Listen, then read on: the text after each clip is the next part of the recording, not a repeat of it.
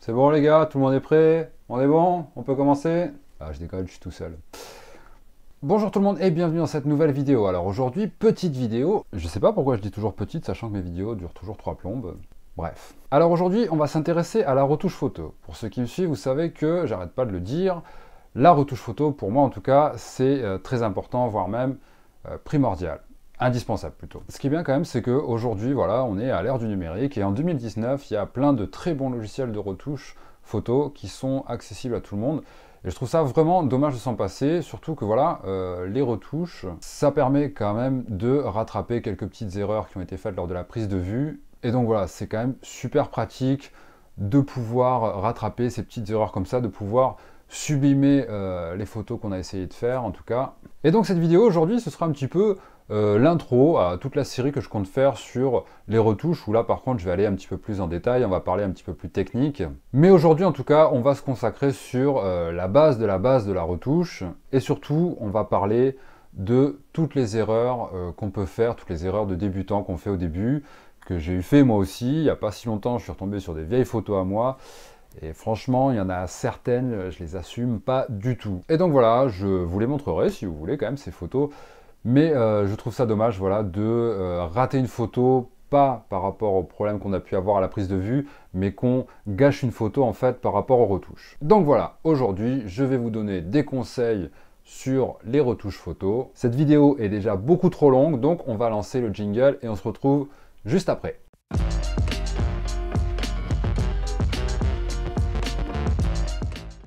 Alors avant de commencer, euh, je tiens juste à préciser que moi je travaille sur Lightroom.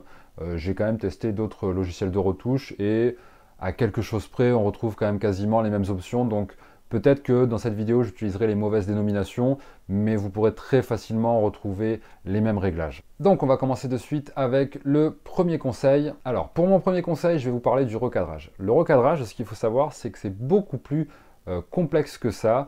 Euh, je ferai d'ailleurs une vidéo juste sur le recadrage, ou plutôt le cadrage, parce que voilà, il y a certaines règles à respecter, la règle des tiers, la règle des perspectives, des lignes directives, au niveau du portrait, si on fait un plan serré, un plan large, un plan américain, italien, tout ce que vous voulez, enfin vous allez voir, c'est vraiment très très très compliqué. Donc là, ça mérite quand même une vidéo vraiment euh, à part entière où je vais vous expliquer euh, où c'est qu'on peut cadrer, où c'est qu'on peut couper, tout ça. Enfin voilà, vous allez voir, c'est quand même pas si simple que ça. Mais juste là, je vais m'arrêter sur une option toute simple, une option toute bête et que malheureusement beaucoup ignorent, c'est l'angle. Parce que ce qu'il faut savoir, c'est que peu importe où on est sur Terre, hémisphère nord, hémisphère sud, même si vous croyez que la Terre est plate, ou la Terre est ronde, ou la Terre est en forme de patate, que sais-je, peu importe où on est, à partir du moment où on regarde l'horizon, on voit un horizon bien droit. Ça marche aussi pour un poteau, pour une porte, à partir du moment où on est devant, ou même sur le côté ou quoi que ce soit, on a toujours une ligne directive bien droite. Et donc la première des choses à faire quand on traite une photo, c'est régler ce problème d'horizon ou de verticalité si voilà on, a un poteau, un mur, je ne sais quoi. Il faut qu'il y ait toujours une ligne directive. Parce que le problème, c'est qu'en fait, si jamais euh, l'horizon n'est pas droit, ça va être ce qu'on appelle une information contradictoire pour votre cerveau. Votre cerveau, il va pas comprendre pourquoi le sujet est là, pourquoi l'horizon n'est pas droit, et du coup, il va être accaparé par tous ces petits défauts, et en fait, votre cerveau va naturellement s'en désintéresser de la photo. Il va plus, euh, va plus trop comprendre euh, qu'est-ce qui se passe, qu'est-ce que c'est. Donc du coup, on va vraiment pas s'attarder sur la photo parce qu'il y aura une espèce de, petite sensation de dérangement en fait. Donc déjà, avant toute chose, réglez ce problème. Faites-moi un horizon bien droit, faites-moi des poteaux bien droits, et ce sera beaucoup plus euh, lisible et beaucoup plus facile d'interpréter la photo. Conseil numéro 2. Alors là, par contre, on va s'attaquer à ce qui est pour moi le plus important, c'est-à-dire la lumière. Je vous rappelle quand même que photo, ça veut dire lumière. Donc là, je vais quand même englober tout ce qui est exposition, contraste, haute lumière, blanc, noir et les ombres. Ce sont tout plein de petites options, tout plein de petits réglages qui restent quand même primordial. Pour moi, ça reste vraiment euh, la chose la plus importante et surtout la première chose que je règle avant tout. Mais par contre, ça reste aussi euh, des réglages qu'il faut vraiment euh, voilà, faut vraiment y aller avec parcimonie, faut vraiment y aller à tâtons, faut pas y aller comme des gros bourrins et pousser les curseurs à fond. C'est vraiment le réglage le plus important voilà, pour récupérer un petit peu le plus de détails de votre photo. Je vais vous donner un exemple. Moi, par exemple, quand je fais des, photos de mariage l'été, être sûr que voilà, s'il y a un grand soleil en plein après-midi, la robe de mariée, pour peu qu'elle soit blanche, eh ben, ça, va, ça, va faire un, réflecteur de lumière. Donc du coup, ça va être très très blanc, ça va être limite cramé.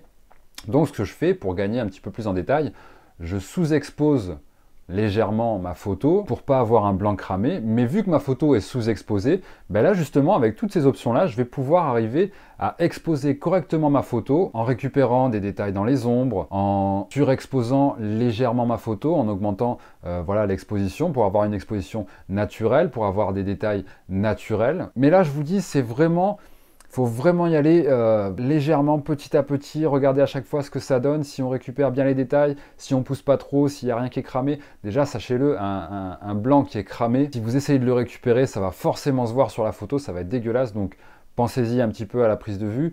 Mais voilà, au niveau des retouches, si vous poussez un des curseurs au maximum, c'est que votre photo de base, elle n'est pas bonne, elle est gâchée. Conseil numéro 3, là je m'attarde sur le contraste. Alors le contraste, euh, comment vous dire? Je n'y touche quasiment pas. Je vais seulement augmenter les contrastes quand je travaille sur du noir et blanc. Parce que voilà, pour avoir un beau noir et blanc, là, à l'inverse, par contre, il va falloir qu'il y ait le moins d'informations à assimiler pour le cerveau. Donc on va essayer à créer des grands contrastes. Donc un blanc très blanc et un noir très noir. Mais par contre, pour de la couleur, là justement, on va chercher beaucoup plus dans les détails.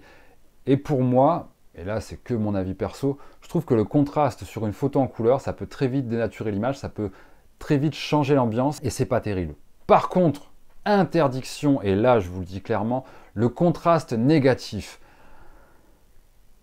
S'il vous plaît, oubliez ça. Le contraste négatif, vous savez, ça va faire une espèce de flou, ça va faire une ambiance un petit peu euh, dégueulasse. Alors il y en a qui mettent ça pour, pour faire une ambiance ouais, romantique, mais en fait ça fait kitsch, ça fait moche, c'est immonde, on se croirait dans un vieux film des années ouais, 70, 80, c'est immonde. Donc le contraste négatif, s'il vous plaît, oubliez-le, on est en 2019, ça ne se fait plus. Mais pour le vrai contraste, par contre, vous pouvez l'utiliser, mais moi personnellement je le préconise plus pour travailler sur du noir et blanc, sur de la couleur, on peut très vite changer l'ambiance de l'image c'est pas top. Conseil numéro 4, là par contre on va parler de la saturation. Et c'est pareil, c'est comme pour le reste, toujours avec parcimonie, toujours avec modération. La saturation, faut vraiment vraiment pas abuser de ça. On peut plus facilement augmenter la vibrance pour récupérer des couleurs plus naturelles. Par contre, la saturation, je comprends pas trop pourquoi cette option est encore disponible parce que franchement, je trouve que c'est pareil. Là, on dénature complètement la photo parce que dès qu'on pousse les curseurs, voilà, on se retrouve avec un ciel beaucoup trop bleu, beaucoup plus pétard, euh, le vert beaucoup trop vert, limite phosphorescent. Et alors c'est pire quand on travaille sur du portrait. Là, c'est le maquillage qui ressort à outrance. On se retrouve avec des lèvres rouges, des joues roses, des yeux bleu pétard. Enfin bref, la saturation, allez-y plus que mollo. Essayez plus la vibrance où là ce sera beaucoup plus subtil, beaucoup plus léger, mais la saturation, mollo mollo. Et toujours par rapport à la saturation, on va parler d'un truc qui se fait encore et qui est pareil, il faut arrêter de faire ça, c'est la désaturation partielle. Alors je dis ça parce que moi aussi j'en ai eu fait au début, je trouvais ça cool, mais en fait avec du recul je me dis que c'est moche, mais vraiment moche, c'est kitsch à mort aussi. La désaturation partielle, on oublie, il n'y a que très peu de gens qui arrivent à en faire, qui arrivent à faire de très belles photos avec de la désaturation partielle, mais là c'est vraiment des professionnels, c'est des artistes, c'est pas que de la simple désaturation partielle il y a certaines couleurs qui sont désaturées, d'autres qui au contraire... Enfin c'est voilà, c'est beaucoup beaucoup plus complexe que ça. Donc euh, voilà, en tant que débutant, la désaturation partielle, on essaye tous, mais c'est moche, c'est à éviter, c'est à fuir, n'en faites pas. Conseil numéro... Je sais plus combien, je crois... 5 dans le genre, on verra bien. Alors je vais volontairement sauter un petit peu tout ce qui est courbe de tonalité, tout ça, parce que là encore c'est quelque chose qui euh, mérite de longues explications et une vidéo beaucoup plus longue où là pareil je m'attarderai vraiment dessus, mais je vous promets on le fera plus tard. Là je saute ces options et on va voir l'option suivante qui est la luminance. Alors la luminance, ce qu'il faut savoir c'est que cette option à la base, mais enfin c'est même pas la base, cette option est faite en fait pour enlever le bruit sur les photos. Elle va un petit peu euh, aplatir les détails pour cacher justement tout ce bruit. Alors le bruit en fait c'est euh, quand on fait des photos, qu'il n'y a pas beaucoup de lumière, on va se retrouver voilà, avec un espèce de petit grain euh, un petit peu lumineux, ça va faire comme... Bah, ça va faire comme des petites pellicules, comme du sel, je sais pas, c'est un petit peu dégueulasse. Et voilà, si votre boîtier ne gère pas très bien la montée en ISO, vous allez vous retrouver avec du grain. Et justement, la luminance est là un petit peu pour cacher tous ces grains. Donc ça va utiliser tous les détails qu'il y a autour pour couvrir ces, petits points. Mais le problème, c'est qu'il y en a qui n'ont pas compris ça et ils s'en servent en fait pour supprimer les détails de la peau quand on fait du portrait. Et là encore, c'est juste dégueulasse. Ne faites pas ça. Pour faire des retouches de peau, alors il y en a qui utilisent Photoshop avec des méthodes très complexes ou quoi que ce soit. Moi, je vous montrerai en vidéo des, des petites astuces comme ça pour des retouches très simples, très basiques, mais pour avoir une peau un peu plus nette, un peu plus belle, où on va supprimer les défauts, mais vous allez voir, c'est très subtil, c'est très léger. Mais en tout cas, n'utilisez pas la luminance pour euh, régler ses problèmes de peau, ça fait des espèces de poupées plastiques, ça fait une personne qui n'a plus aucune expression, qui n'a plus aucun détail, tout est aplati, tout est dégueulasse. Alors pour peu qu'en plus de ça, on augmente la saturation, on se retrouve vraiment avec une poupée, une poupée Barbie, mais même pas une poupée Barbie, une poupée avec Annabelle quoi, un truc dégueulasse. Donc la luminance, n'oubliez pas, c'est pour réduire le bruit, réduire le grain numérique, mais en aucun cas pour réduire les problèmes de peau. Donc là, laissez tomber la luminance pour du portrait, s'il vous plaît. Conseil numéro 6. Euh, je suis vraiment pas sûr j'en sois au 6. Enfin, je crois que j'ai bugué. Je sais pas. Bref. Conseil suivant. Là aussi, je vais vous parler d'une option que j'ai énormément utilisée au début où je faisais des photos et trop utilisée, même j'en ai vraiment abusé, c'est euh, le vignettage. Le vignettage, je trouvais ça sympa, ça donnait un petit côté un petit peu rétro, ça permettait aussi un petit peu de recentrer l'attention sur euh, le sujet principal. Mais le problème, c'est que, voilà, justement, à trop euh, vouloir centrer euh, l'œil, à trop vouloir centrer l'attention sur la photo, ben on en perdait un petit peu tout ce qui était autour, on en perdait l'ambiance, l'atmosphère, tout ce qu'on voulait un petit peu retranscrire sur la photo. Donc là, c'est pareil. Le vignettage, c'est sympa un petit peu, mais vraiment sur les bords, où vraiment on, augmente à, fond le, contour progressif pour vraiment que ce soit très très très subtil.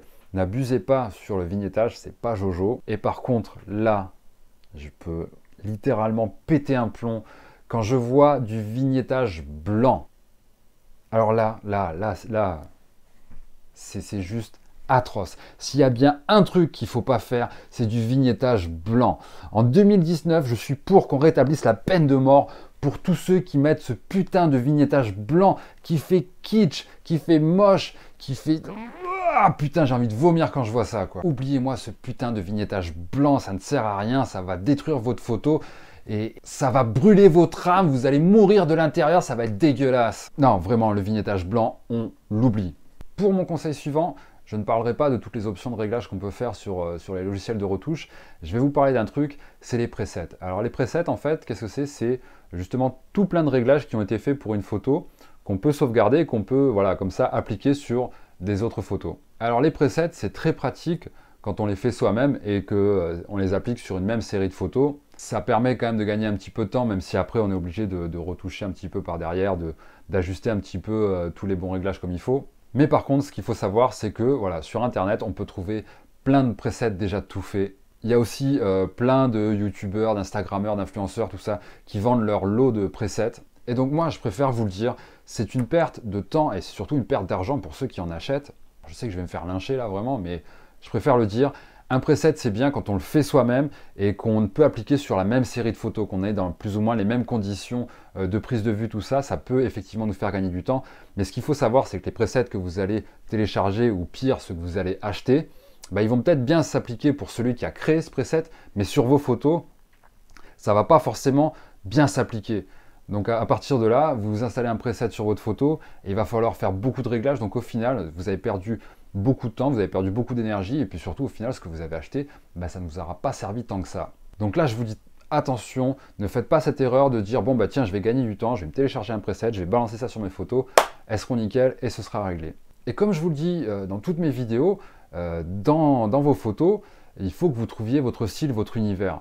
Et ça aussi, vous allez le retrouver aussi dans vos retouches. Et moi, je trouve que bah, justement, prendre les, presets de quelqu'un d'autre, en fait, et les appliquer sur vos photos, bah, ce sera plus vous, en fait. Ce sera plus vos photos, ce sera votre prise de vue, certes, mais avec son preset à lui, bah, ce sera un petit peu son univers qui sera retranscrit sur vos photos. Et du coup, bah, ça vous appartiendra qu'à moitié. Donc voilà, je vous le dis, les presets, ça peut être pas mal, mais si c'est vos presets à vous, si vous prenez le temps de les faire, si vous prenez le temps voilà, les appliquer, mais sur la même série de photos, vous allez voir, là effectivement, vous pourrez gagner du temps, mais sinon les presets des autres, laissez tomber, c'est pas votre style, c'est pas votre univers, c'est pas vous. Donc voilà, cette première vidéo intro sur les retouches photos est terminée. Vous avez compris que voilà, c'était vraiment aujourd'hui on parlait de la base de la base et surtout voilà ce qu'il ne faut pas faire. Après, ce qui est sympa aussi un petit peu dans la retouche, c'est de soi-même faire des essais comme ça, essayer de chercher un petit peu ce qu'on peut faire.